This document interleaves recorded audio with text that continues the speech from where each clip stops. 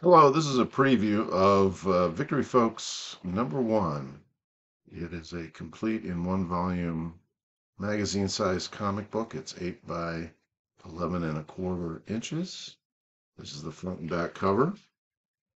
And if you are a follower and fan of Yeet's Yeet Presents, you saw the first 10 pages of this in color in Yeet, no, Yeet Presents number 50. This is uh, the complete story, and here's the uh, here's the original cover.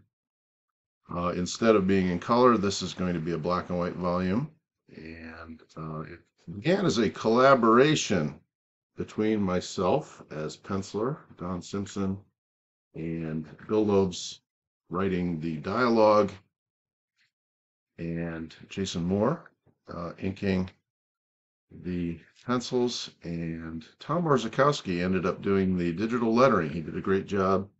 In this edition, I have actually re-lettered the artwork, uh, replacing Tom with my own hand lettering, which takes some chutzpah, I think you'll agree.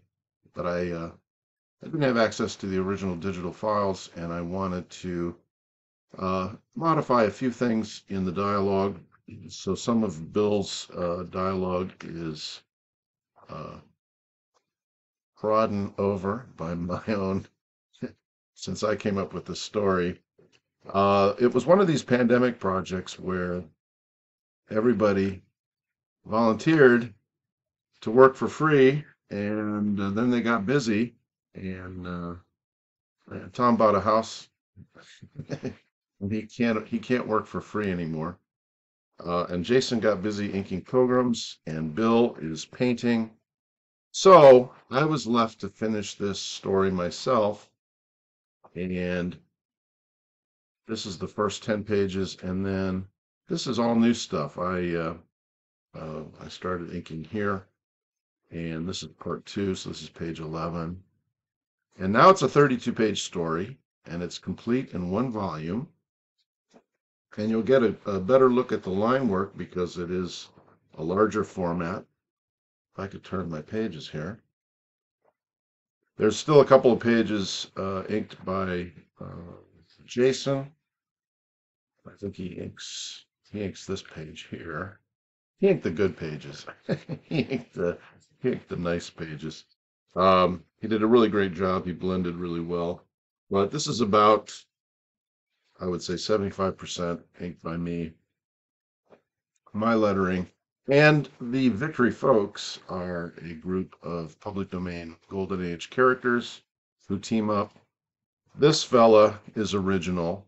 He was uh, he was called Admiral Victory in Eat, Yeet Presents. He's now called Admiral Viceroy, which is just a meaningless retcon that I inflicted on the story.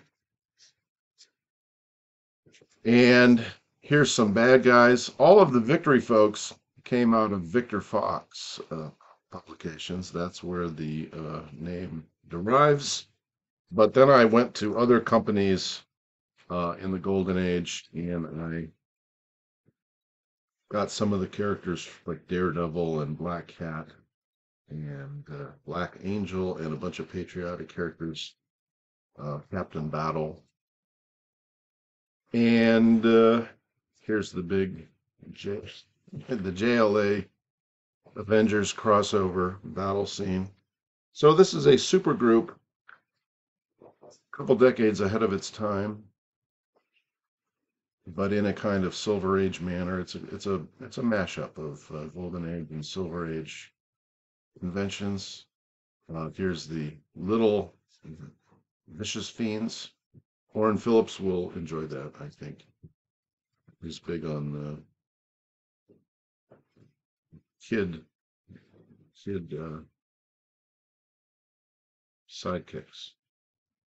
And uh, here we explain, I explain the whole tie-in to the uh, my own universe. Here's Yarn Man, you'll see, and um, and this is a kind of a companion piece to X amount of comics, which is the um, book coming out from Fantagraphics. It's the satirical 1963 annual. And here's uh, Ms. Megaton Man and Yarn Man and Cosmic Cat and Simon, the son of Megaton Man. And let's not forget Genevieve, who is the son of the human meltdown. She's the daughter of the human meltdown and uh, Felicia. Um, so all of this is tied into my crazy ongoing universe of characters and will be continued with new material. This is a, a an annotation of all the characters and where they originally appeared.